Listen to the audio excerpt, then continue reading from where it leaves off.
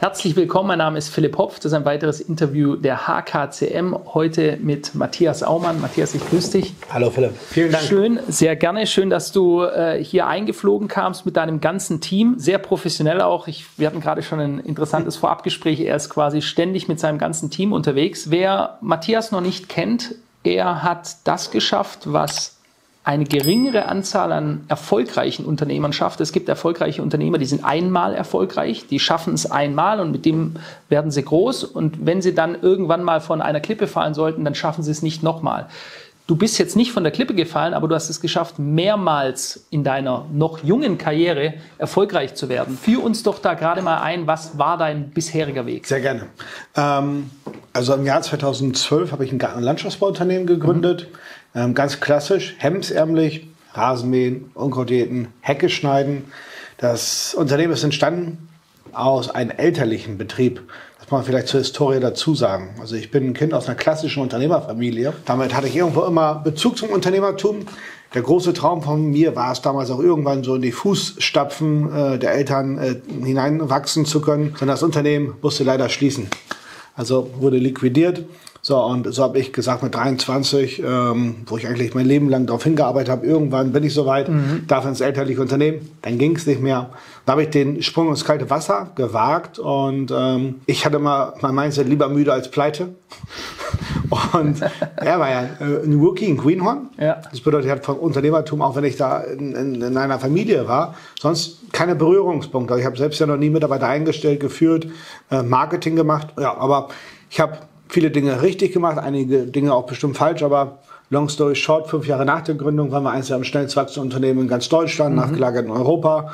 Ähm, habe ähm, in, in den ersten fünf Jahren 60, 70 Mitarbeiter aufbauen können. Und dann kamen andere Handwerker auf mich zu und sagten, wie schaffst du das? Also mit äh, 23 gestartet, jetzt mit 27 Jahren ähm, Platz drei aller Handwerks- und Bauunternehmen in Deutschland, Platz 20 von allen deutschen Unternehmen im Jahr 2017, also von den Wachstumsraten im Umsatz gesprochen, jedes Jahr 150 Prozent Umsatzwachstum. Ja, da habe ich gesagt, ja, das ist äh, eine gute Frage.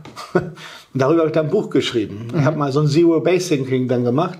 Bedeutet, okay, wenn man wie im Nintendo-Spiel auf äh, Reset drücken würde, mhm. und wir starten das Spiel von vorne, wie würdest du wieder anfangen? So, mit diesen Gedanken habe ich ein Buch geschrieben. Nicht schulklug, sondern straßenschlau. Das Buch habe ich dann verschenkt. Also das war damals mit einer der ersten Free Plus Shipping Modelle. Heute ist es gang und gäbe.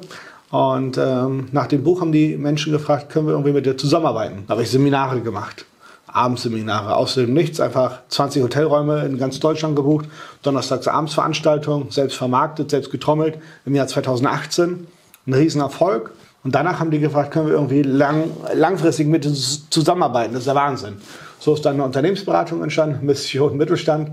Und heute hat diese Unternehmensberatung 140 Mitarbeiter, ist gerade auch mit eines der am schnellst wachsenden Unternehmen in Deutschland, auch fünf Jahre später, gute mehrfach achtstellige Jahresumsätze. Ja, und insgesamt würde ich sagen, ähm, ich mache Unternehmertum wirklich richtig, richtig gerne. Das, ich denke, das, das kann man so sagen. Ja, ich finde das auch wirklich erstaunlich auch an, an die Zuschauer wenn ihr manchmal reinschreibt, ich wäre ein Macher, also mir sitzt ein Macher gegenüber. Ja? Ähm, ich finde das wirklich hervorragend, denn ich wurde immer gefragt, wenn, wenn ich das jetzt nicht mehr hätte, was ich mir aufgebaut habe, was würde ich dann eigentlich machen? Ja? Und dann habe ich immer gesagt, ich würde wahrscheinlich Straßenmusikant werden oder so, ja, weil das ist wirklich, ähm, ich bin ja in, in meinem letzten Leben bin ich Marktschreier gewesen. Ich sehe mich da in, in der großen Historie mit dem Ahle-Dieter von Hamburg-Altona, die na, damals wirklich da standen und eben als Marktschreier fungiert haben. Und Aale, frische Aale. Und du hast es ja komplett getrennt von deinem ersten Geschäft geschafft, dir nochmal sowas aufzubauen, ähm, noch größer jetzt als das mhm. Geschäft davor. Das finde ich schon beeindruckend. Äh, wie geht sowas zusammen? Hast du dann einfach gesagt, ich schule um? Hast du dann Management studiert, um das zu machen? Oder wie kam dieser Transit? Nee, also ich bin ja gestartet, 2012, Galabau. Mhm. Ich würde sagen, mit der tiefen Überzeugung, das zurückholen, was uns weggenommen worden ist. So habe ich gedacht. Falscher Glaubenssatz damals, also durch die Insolvenz.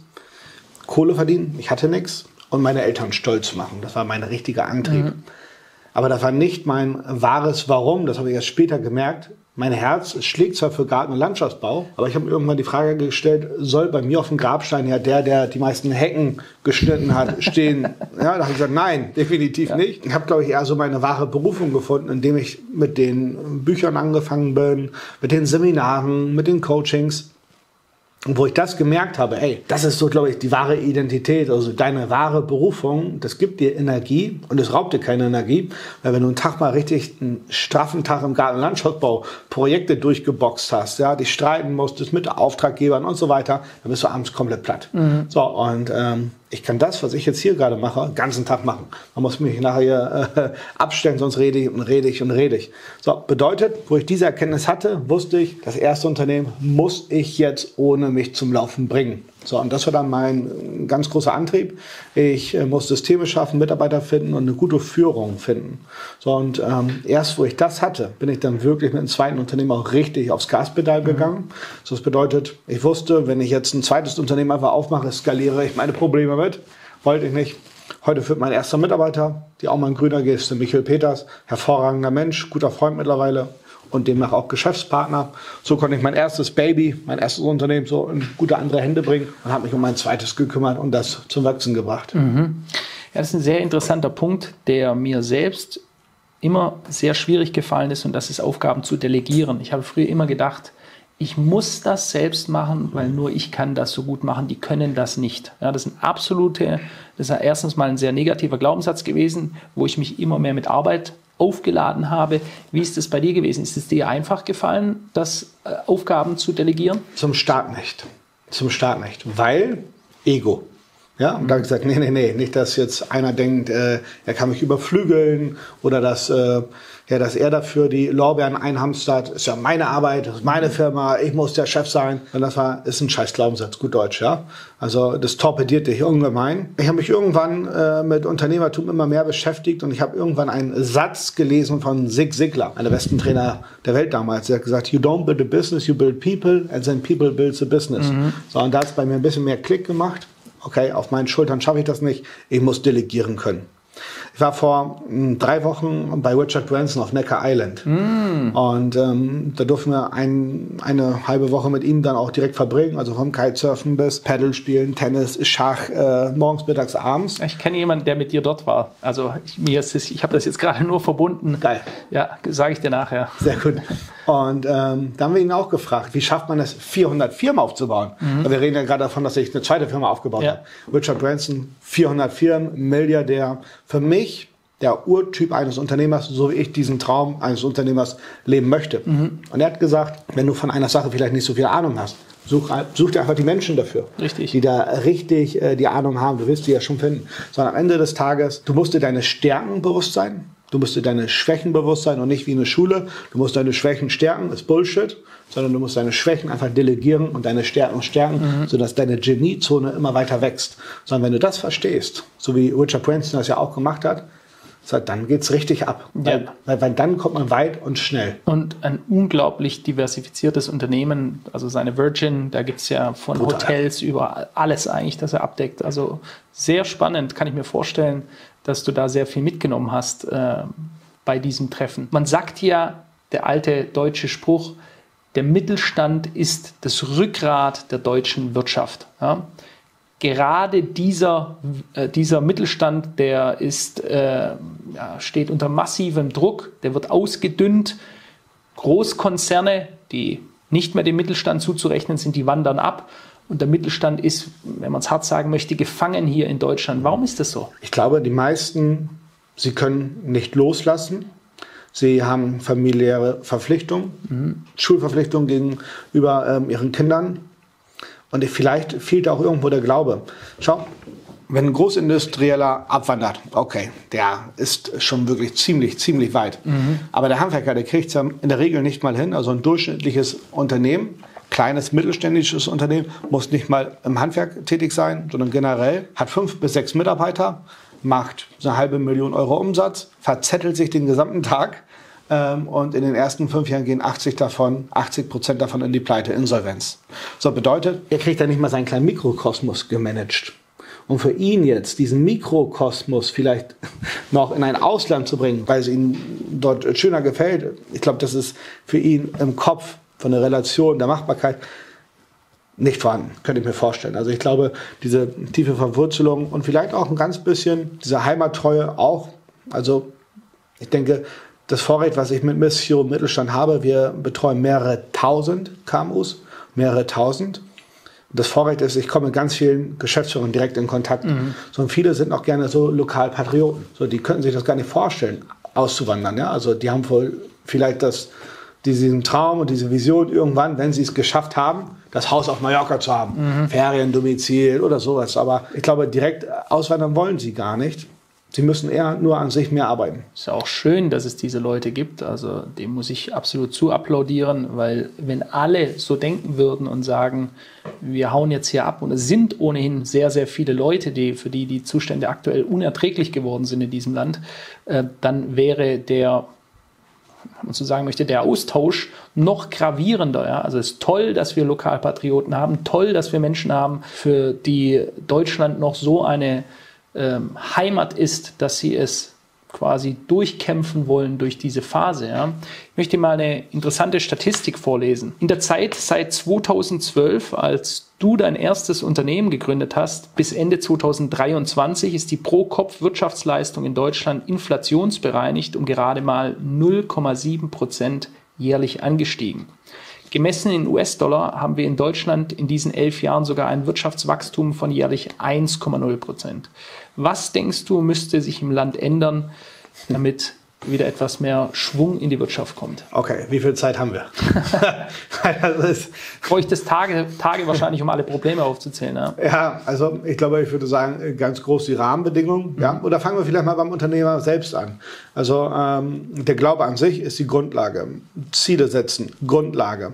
Ähm, so diese Macher-Attitude, wir haben gerade von Macher gesprochen. Ich glaube, der Wohlstand in einem Land ist gleichzusetzen mit dem Mut der Unternehmer, die hier sind. So, und ähm, wenn man sich gar nicht so viel zutraut und sagt, ja, also gerade wenn ich mich mal jetzt 2012, wo die Studie beginnt, äh, sehe, meine Persönlichkeit war eine komplett andere, komplett anders.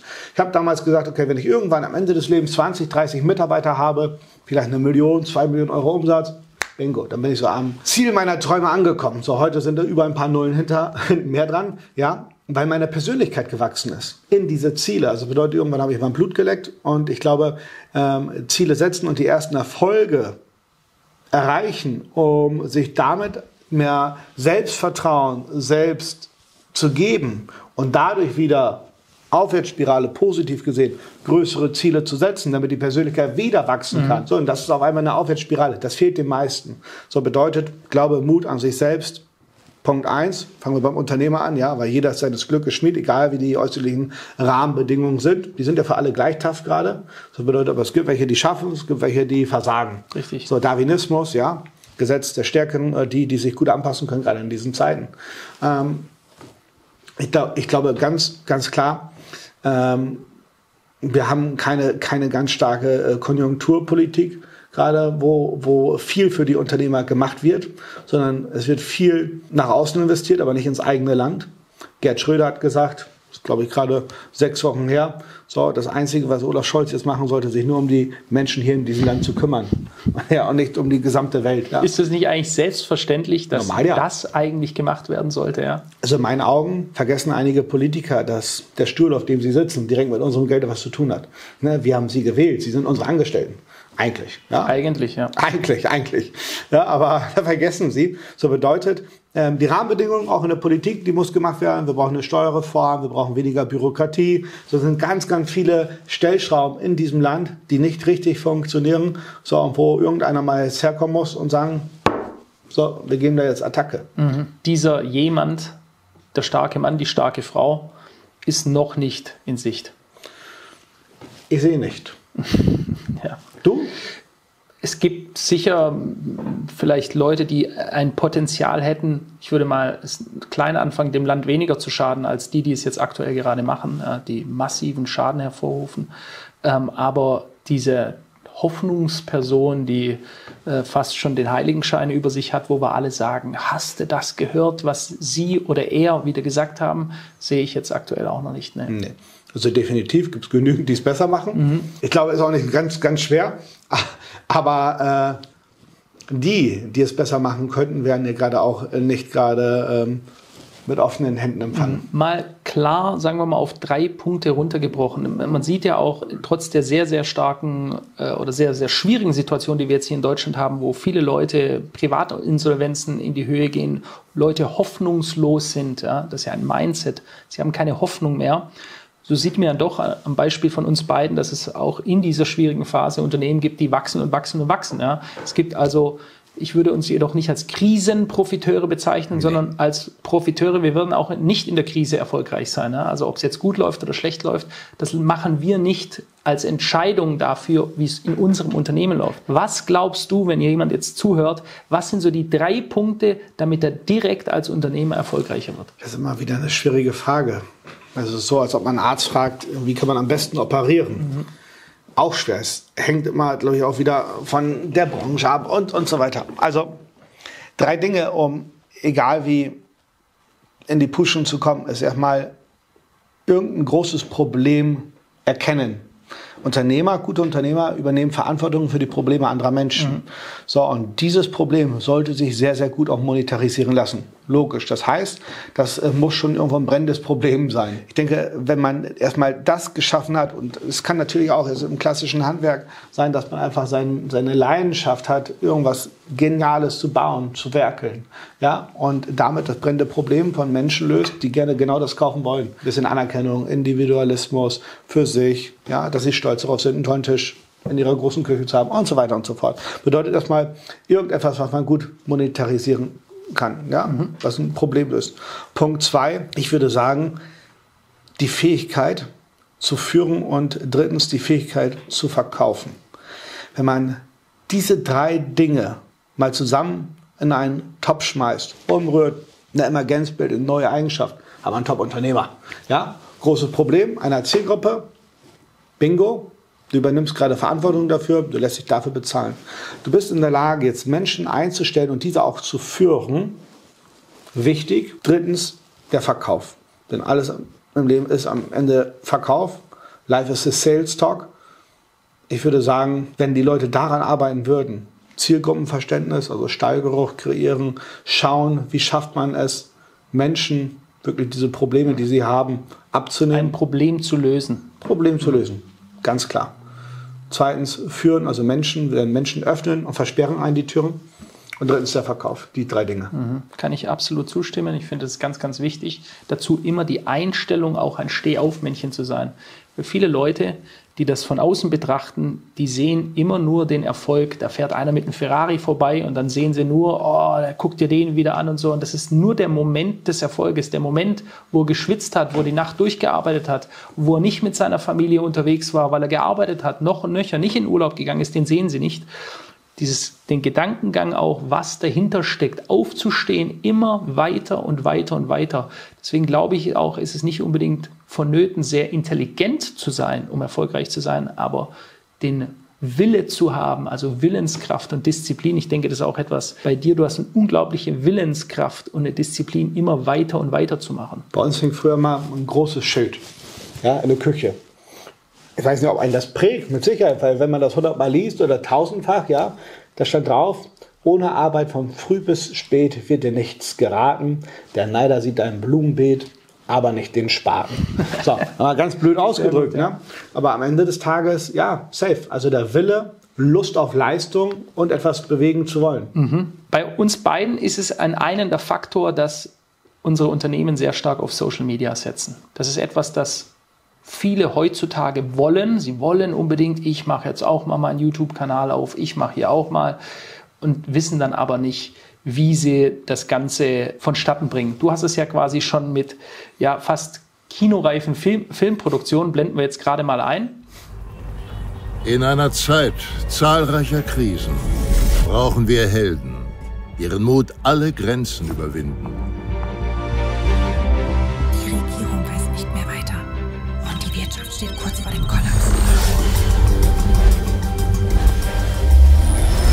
andere stillstehen, brauchen wir jemanden, der handelt.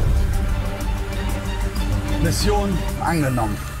Warum siehst du das auch als so wichtig an, dass du möglichst eine große Reichweite hast für die Informationen, die du vermitteln willst? Ich würde sagen, Geld folgt der Aufmerksamkeit. So, und ich lasse mich dafür bezahlen, dass ich die Probleme anderer Menschen mehr löse. Wenn wir mehr erfolgreiche Unternehmer hier in diesem Land haben, geht es gesamt wirtschaftlich diesem Land besser. So, Wirtschaft heißt Werte schaffen. Ähm, du musst ja irgendwo in diesen ich würde Sumpf dieser Marketingbotschaften und jeder prasselt den gleichen Mist in den Markt rein, ja, Floskel-Marketing. Also jeder sagt, ich bin besser, schneller, kauf mich, kauf mich. In der Regel 6.000 bis 8.000 Mal am Tag. Merken wir gar nicht, geht hier aus der oberen Verstandesebene hier rein, ja. Das heißt, du musst irgendwo etwas machen, damit man hängen bleibt. Ich habe wirklich verrückte Dinge gemacht, ja, also wirklich auch skurrile. Meine Mutter hat mir damals gesagt, bis 30 verzeiht man dir alles. Ja? So, und so bin ich dann angefangen schon auch bescheuerte Sachen zu machen, damals im Gartenbau und mit Kleinwüchsigen, die ich als Gartenzwerg verkleidet ja, richtig, habe. Ja. Ein Shetland Pony habe ich mir von Bauernhof ausgeliehen und äh, bescheuerte Sachen haben wir gemacht, ja. So. Damit bin ich aber immer aufgefallen. Ich bin aufgefallen und es war nicht für alle sofort richtig, ja. Und die sagen, das spinnt auch. Den kann man nicht ernst nehmen, ja. Ich sage aber, in der Bibel steht, der Stolze wird gestürzt. Also sich selber gar nicht so ernst nehmen. Und ich mache alles immer ein ganz bisschen mit so einem kleinen Augenzwinker. Ja, auch wenn ich mich da als James Bond verkleide und auch mit einem Ferrari durch die Präriedüse und die Welt rette und die deutsche Wirtschaft. Ich mache alles immer bewusst mit einem Augenzwinker. Ich nehme mich natürlich da nicht ernst. Logisch. So, und da bleibt vielleicht ein Mittelständler erstmal stehen und denkt, was ist das hier? Danach kommen aber relevante, richtige, gute, wichtige Informationen für ihn. Dafür sorge ich, ja, mhm. durch mein Online-Marketing. Das bedeutet, ich mache das bewusst, um einmal irgendwo so den Peak zu geben, den Kopf radikal doll aus dem Steckenhaus herauszustecken. Ja, hier bin ich, werde auf mich aufmerksam, verdammt nochmal. Ja, so, und danach gibt es aber wirklich strategisch wichtige Informationen, ja, die mir helfen können. Das ist, denke ich, ein ganz wichtiger Punkt und den Fehler, den viele machen, ist, die sagen auch, ich strecke jetzt mal den Kopf aus dem Schneckenhaus raus und danach kommt nichts. Ja? ja. Das heißt, guck mal hier, ich habe auch ein Lambo, kauf mein Programm und dann kommt da aber nichts mehr. Dann bleibst du der Spinner. Richtig, ja. Und davon haben wir sehr, sehr viele. Und ich denke, deswegen hat das teilweise auch einen schlechten Ruf. Es ist ganz wichtig, wie der Pfau auch erstmal sein Federkleid zeigt, um das Weibchen anzulocken. Ja. ja. Er muss aber halt danach noch Potenzial mitbringen, ja, danach. Und Klar. ich denke, das ist auch so ein Punkt. Äh, man muss ja auch erstmal beachtet werden. Man will, dass die Augen auf eingerichtet sind. Aber wenn man dann danach noch Qualität mitbringt, dann ist es erfolgreich. Also einer der Fehler ist, keine Substanz zu haben, aber auch einfach nur beachtet werden zu wollen. Was hast du denn jetzt, der schon viele tausend Unternehmen jetzt erfolgreich gemacht hat durch Mission Mittelstand, was hast du denn jetzt noch häufig für andere Fehler ausgemacht, die viele Unternehmer ja, ja. häufig begehen? Die Leute kommen zu mir wegen drei großen Pain Points. Das ist immer wieder das Gleiche branchenübergreifend. Erstens, sie haben keine Organisation und Systeme. Zweitens, sie finden keine Mitarbeiter. Wenn sie Mitarbeiter haben, haben sie die falschen, können sie nicht führen. Und drittens, das ist so eine gute Präsenz aufzubauen, dass man auch als Arbeitgeber-Image gesehen wird und dass man Kunden bekommt, die einen fürstlich bezahlen. Deswegen kommen sie zu mir. Sie gehen mit einer Danksagung nicht wegen diesen drei Dingen, sondern dass sie sich verändert haben in, in der Persönlichkeit. Also irre. Ähm, falsche Glaubenssätze, äh, mehr Mut, mehr Spaß in der Ehe, also komplett bescheuert. Ja? Wir hatten diese Woche Intensivseminar von Montag bis Freitag, also bis gestern Abend, heute Morgen Verabschiedung und da waren bei uns im Büro 30 Unternehmer und die hatten teilweise auch ähm, ihre Ehefrau mit. Und eine Ehefrau kam in der Pause, bisschen Tränen gerührt und sagte, sie wollte sich einfach mal kurz bedanken, hat mich umarmt, hat gesagt, gefühlt die Ehe gerettet, zeigt auf ihn ja, und sagt, der hat sich richtig verändert im letzten Jahr. Mhm. Ne? Aber zum Positiven. So, das bedeutet, deswegen kommen die aber nicht zu mir. Nein, natürlich nicht. Ne? Aber wenn die Firma glatt läuft, wenn du keinen Stress mehr zu Hause deswegen hast, weil du bist ja nur noch mit der Firma verheiratet, ja, oder Geld, wenn es ein Problem ist, dann schreitest du den ganzen Tag darüber. Wenn ja. Geld wenig da ist, hast du ein Riesenproblem. Absolut. Also es dreht sich den ganzen Tag um dieses Problem. Die Kinder kriegen es auch mit und es ist eine Abwärtsspirale wieder, ja. Ähm, so, und den Stress, den du dann zu Hause hast, den nimmst du damit in die Firma. Der Mitarbeiter kommt mit einer normalen Frage und du blöffst den an. So, und der denkt, was hat der denn hier? So, bedeutet, ich glaube, der, der wahre Wert, wirklich der wahre Wert von der gesamten Zielsetzung ist es nicht die Materialisierung, dass man ein besseres Unternehmen hat, sondern dass man eine viel geilere Persönlichkeit geworden ist, vielleicht wieder Spaß in der Ehe, Spaß mit dem Partner, glückliche Zeit, also mehr Zeit für die Kinder, weil am Ende wir haben so viele Familienväter auch bei uns. So, und ich sagte immer, hey, ihr habt nur 18 Sommer mit den eigenen Kindern, 18 Sommer. Und vielleicht mit 15 wollen sie schon Lorette mal mit ihren Kumpels, nicht mal mit euch. So, nutzt diese Zeit. Also, deswegen, ich bin großer Verfechter davon, diese Zeit auch so effektiv dann zu nutzen, dass man nicht jetzt ja, Sklave im Unternehmen ist, sondern dass man da rauskommt. Und hast ja auch eine große Familie. Ich habe selbst vier Kinder. Ja. Und einen Hund. Wird nie langweilig. Ja, toll. Das ist auch sehr schön, um das zu wissen, auch den Mut noch zu einer großen Familie in Deutschland, den viele ja nicht mehr haben. Auch ein Geldgrund, Belastungen sind so hoch, man traut sich das gar nicht mehr. Kann ich mir das überhaupt noch leisten? Das ist, denke ich, eine Frage, die sich viele Leute dabei stellen. Bestimmt. Also als ein Grund, um dem mal anzufügen, erfolgreich zu werden. Es gibt viele, viele Gründe dafür, aber einer wäre, dass man sich ja auch eine große Familie leisten kann, wenn man das möchte. Ja. ja? Ähm, meine letzte Frage, die mich als Unternehmer sehr begleitet hat, schon mein ganzes Unternehmerleben lang, ist, ähm, dass ich mit positiven Affirmationen und Glaubenssätzen arbeite. Ich habe da auch mal ein Büchlein rausgebracht. Das gibt es bei 10 Euro, äh, für 10 Euro ungefähr bei Amazon. Im Endeffekt äh, geht es einfach nur darum, dass man sich jeden Tag Dinge reinschreibt, für die man froh und dankbar ist und sich auf seine Ziele fokussiert.